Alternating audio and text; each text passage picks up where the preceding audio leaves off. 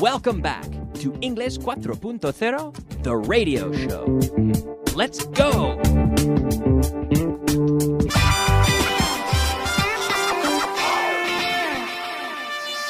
Intermediate. All right, welcome back. Welcome to Intermediate Class 19. And uh, you may recall in the last class we were talking about uh, more than, more something than something else, like more intelligent. I said that my brother was more intelligent than most people I know. It's true. and uh, my brother is more intelligent than I am. He is. He's more intelligent than me. And uh, I asked the question I said, Is a Rolex more expensive than a Timex? And you said, Yes, a Rolex is more expensive than a Timex. Is a Porsche faster than a Ford? Yes, a Porsche is faster than a Ford. Ask me if my brother is more intelligent than, let's say, hmm, ask me if he's more intelligent than than most of my friends. Kyle, is your brother more intelligent than most of your friends? Yes, he is. Not that not that my friends aren't intelligent, but my brother I, f- I think is very very intelligent. Yes. Ask me if Coca-Cola in Canada is more expensive than Coca-Cola in Spain. Kyle, is Coca-Cola in Canada more expensive than Coca-Cola in Spain? No. No, it isn't. It is cheaper, actually. I think Coca Cola in Canada is a little bit cheaper than Coca Cola in Spain. So, no, Coca Cola in Canada is not more expensive than Coca Cola in Spain. Ask me if food in Canada is more expensive than food in Spain. Kyle, is food in Canada more expensive than food in Spain? No. Food in Canada is not more expensive than food in Spain. Ask me if my watch is more expensive than my pen. Is your watch, siempre en voz alta, out loud, out loud with me, is your watch more expensive than your pen? Remember, than, ending in an N, than. My lips do not close. Make sure that your lips are not closing on the N sound. Than. my tongue goes up under, well, behind my teeth, touching the roof of my mouth, behind my teeth, but my lips do not close on the N sound. They close on the M, but they do not close on the N. Okay? Then, then, is your watch more expensive than your pen? Yes, my watch is more expensive than my pen. Is Spain more developed than India? Yes, Spain is more developed than India. Ask me if food in Canada, sorry, uh, ask me if clothes in Canada is more expensive than clothes in Spain. I should say are. Ask me if clothes in Canada are more expensive than clothes in Spain. Are clothes in Canada more expensive than clothes in Spain? Yes, clothes in Canada are maybe well it it depends. I think I think I, I yesterday I discussed Levi's jeans. Levi's jeans are much more expensive in Spain or in Europe in general than they are in Canada or anywhere in North America. It depends. It depends on what kind of clothes you're buying. Some things are more expensive in Canada than they are here, but most things are more expensive in Europe and in Spain than they are in Canada. Ask me if my neighbor is louder than I am. Is your neighbor louder than you are? Yes, my neighbor is louder than I am. Ask me if football is more fun than working. Hey, Kyle, is football more fun than working? Uh, well, I enjoy working. I enjoy making radio shows. I like it, but football is a lot of fun. Football, for most people at least, football would be considered more fun than working. It depends on your job, and it depends if you like football, I suppose. Now we had the structure. I said yesterday it's easier and easier or it's getting easier and easier, or it's becoming easier and easier to learn languages. It is. It's becoming easier and easier. Cada vez más fácil. It's becoming easier and easier. It's getting easier and easier. It's easier and easier to learn languages. So you don't say each time. No, no, no. You just say it's easier and easier to learn languages. It's getting easier and easier to learn languages. It is. It's getting easier and easier to meet foreign people who want to share their language. Right? It's getting harder and harder to see donkeys in villages in Spain, I find. Yes. Is it getting easier and easier, or harder and harder, to find peseta coins in the street? It's getting harder and harder to find peseta coins in the street because the peseta has been discontinued. Although you still see, I, I, I found a coin last year. I found a peseta coin in the street. Yes. Is it getting easier and easier or harder and harder to imagine life without the internet? It's getting harder and harder to imagine life without the internet. Yeah. Is it getting easier and easier or harder and harder to find foreign foods in the supermarket? It's getting easier and easier to find foreign foods in the supermarket. Hmm. Is it getting easier and easier or harder and harder to see foreigners in Madrid? Foreigners, guiris like me. yes, it well, it's getting it's getting easier and easier to see foreigners in Madrid. They're everywhere.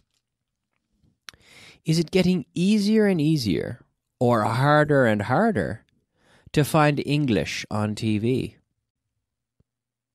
it's getting easier and easier to find English on TV, especially with Aprende Inglés TV, yes. Hmm. Is it getting easier and easier or harder and harder to see original version movies in Madrid? It's getting easier and easier to see original version movies, typically in English, in Madrid. Yes, it is. It's getting easier and easier. Is it getting easier and easier or harder and harder to find a job if you don't speak English? That's right. That's why you're listening, right? It's getting harder and harder to find a job if you don't speak English. Yeah, it's true. Okay, it's true. Yes, it's getting harder and harder to find a job if you don't speak English. It's getting more and more important to speak English. It really is, yes. Word of the day. All right, yes, it's time for our word of the day. And you're getting a little bonus feature today, listeners. It's it's it's your lucky day because we have in fact two words related: profit and loss. Profit and loss. Profit, so profit, beneficios, beneficios económicas, and loss being pérdidas. So a lot. So when you have the fi- you have financial statements. Now, I believe it or not, I, I studied finance. My background is in finance, and and so I've dealt with a lot of financial statements, and I worked in a bank and all sorts of things before uh, hosting this show on uh, on Vaughan Radio. And I can tell you that profits, we love profits. Companies love profits. So when we say profit, because in Spanish you have the word beneficios, you say beneficios and uh, we we have we have benefits and we also have profits. Profits are financial. Profits are are the financial uh, what's left from your your revenue ingresos the revenue minus the expenses the gastos gives you profit profit which is the good stuff what's left the profit beneficios económicas so profit. And then, unfortunately, if it's negative, it can be a loss. Sometimes a company operates over a given period and experiences a loss. They hope to make a profit, but sometimes companies experience a loss. Sometimes companies have a loss. So, profit is economical. Profit is money. Revenue minus expenses equals profit. whereas benefits are like non, essentially non financial advantages of a situation. So, a benefit for me of teaching English is that I get to meet a lot of interesting people. It's a benefit to this job. I love this job because I get to meet, I have the opportunity to meet a lot of interesting people. That's a benefit to my job. A benefit to my job is that I don't have to lift heavy weights or things like that. I'm using my brain and I'm using my throat, which sometimes gets dry. You notice my voice crack because I'm recording a lot of, I'm working, speaking a lot. But um, it's a benefit of the job is that I get to work with you know, work in something that I like. That's a benefit. It's a benefit of the job. And working with people that I like, it's all it's a benefit. It's not a profit, it's a benefit. Profit is financial. Okay? Profit and loss. And then uh, so so we have this statement, this financial statement which in American English we call the income statement. Income statement where we record revenues and expenses. And at the bottom we have a profit or unfortunately sometimes we have a loss. And this is called the income statement. In britain they i believe they often call it the the profit and loss statement or the p&l and you can say that if you want but make sure you know what you're talking about if you call it the p&l because i've had students here in spain who call it uh, the el, el p&l but they don't necessarily understand what p&l means profit and loss but in American English, it's more common to refer to it as the income statement, which is one of the important financial statements. Did you give me a present yesterday? Answer my question. Did you give me a present yesterday? No, I didn't give you a present yesterday. I didn't give you a present. So we have the verb to give. Today I give. Yesterday I gave. Yesterday I gave. Uh, yeah, last Christmas, I gave my mother a very nice present. Do people give you presents when it's your birthday? Yes, people give me presents when it's my birthday. Did they give you presents on your last birthday? Yes, they gave me presents on my last birthday. Ask me if my give if I give my my brother presents every year. Kyle, do you give your brother presents every year? Yes, I do. I give my brother presents every year. Yes, I don't have a wife, so I don't give my wife presents because I don't have a wife. If I had a wife, I would give her presents, but I don't have a wife. Ask me if I gave my father a Christmas gift last year. Kyle, did you give your father a Christmas gift last year? Now, I'm sorry, what do you want to know? I want to know if you gave. I want to know if you gave your father a Christmas present last year. Yes, I did. Yes, I gave my father a Christmas present last year. Hmm. I gave him a gift. So to give, today I give, yesterday I gave. Gave, okay? So we give something to someone. I give I gave my father a Christmas gift uh, I'm sorry, I, I, I gave, you give someone something, I should say. I gave my father a Christmas gift. I gave a Christmas gift to my father. So you can say it either way. You can say I, you give something to someone, or you give someone something. I gave my father a Christmas gift. I gave a Christmas gift to my father. But please never say uh, to give to someone something. I, I gave to him a no no no no no. So not not not to him. No. I gave him something. Okay?